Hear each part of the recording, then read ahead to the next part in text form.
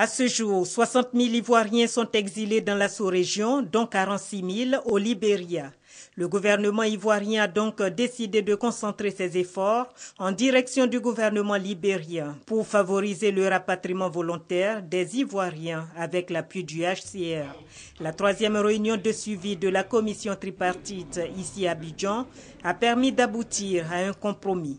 Il est ainsi demandé au gouvernement libérien d'enregistrer toutes les naissances sur le sol libérien.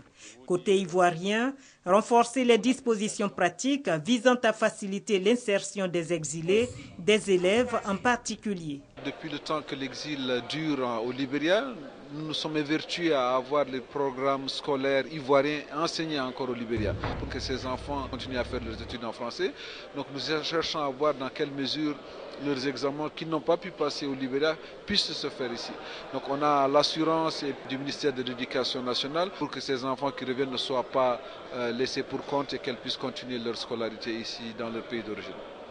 Autrefois réfugié libérien en Côte d'Ivoire et aujourd'hui vice-ministre libérien des Affaires intérieures, Varney Serlif a expliqué que l'espoir est permis à condition que l'éducation des réfugiés soit une priorité. Les trois parties, à savoir la Côte d'Ivoire, le Libéria et le HCR, ont enfin convenu d'accélérer les opérations de rapatriement avant la saison des pluies, source de nombreux désagréments.